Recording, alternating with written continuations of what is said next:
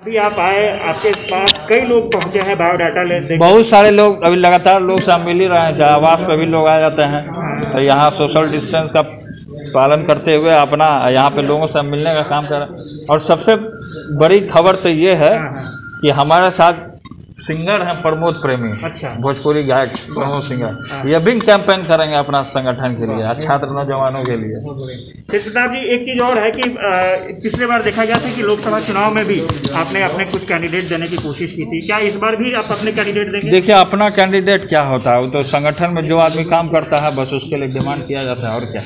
एक चीज़ और कि- सबका पैडिंग करते हैं लोग सब लोग करते हैं अपना अपना राय रखने का काम करते हैं। तो इस बार कैसे लोगों को टिकट दिया जाएगा क्योंकि टिकट के लिए तो पहले हम सर्वे कराएँगे फिर वैसे लोगों को टिकट देंगे।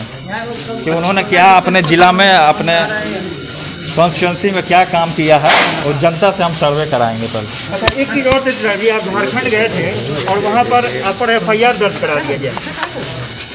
देखिए, हम चार गाड़ी से गए थे, अब हमारे पीछे कितनी गाड़ियाँ आई थी, वो हम नहीं पीछे देखने गए थे। और जो आ जाता है पीछे, हम लड़ते ना झगड़ते हैं, हम किसी को अपमानित भी नहीं कर सकते हैं, हम ना किसी को बोल भी सकते हैं। अब पीछे लगा दिए थे कि क्या किए थे, हम चार गाड़ी से अपना गए थे। और वहाँ के मुख्य सचिव भी मिले थे हमको तो बोले थे लेटर दे दीजिए बना करके कि आप दूसरे राज्य से आए हैं। और कोरोना का हमने टेस्ट भी कराया था तो निगेटिव निकला था कोरोना का। हमारे साथ जो चार लोग भी थे, उनका भी निगेटिव पूरे तरीके से निकला था। तो वहाँ की सरकार से और हम मांग करते हैं कि इस तरीके का जो हुआ है सिचुएशन को उसको अपने नज़रिया को दूर कीजिए।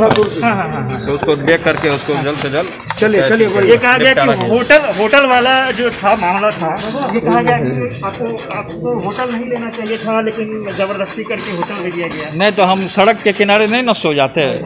हमको तो कहीं आसियाना चाहिए था रुकने के लिए।